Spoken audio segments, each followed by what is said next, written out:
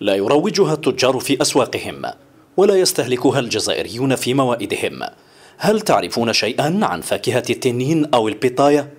هي أمريكية الأصل لكنها أصبحت تزرع بشكل كبير في آسيا وخاصة الصين التي سمحت شراكتها مع أحد المستثمرين بأن تجعل منها جزائرية المنبت بأرض سكيكدا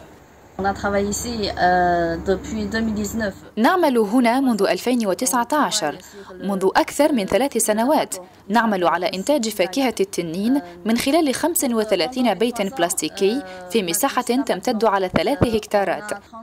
ولحد الآن فقد نجحت التجربة ونريد التعريف بالفاكهة لدى الجزائريين ويمكن إيجاد هذه الفاكهة المحلية في السوق الجزائرية.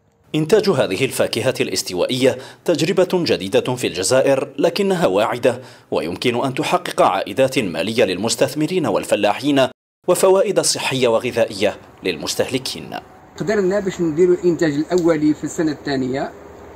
والسنة الثالثة لهذا الجوانفات كانت آه، في الحقيقة آه، إنتاج يعني ما شاء الله وصلنا حتى 1500 1500 كيلو. وكثير من المستثمرين اتصلوا بنا من أجل آه، الدخول في هذا الإنتاج على مستوى مزرعة مزرعتهم. إحنا عندنا طبعا إحنا ما ندخلوا حتى واحد.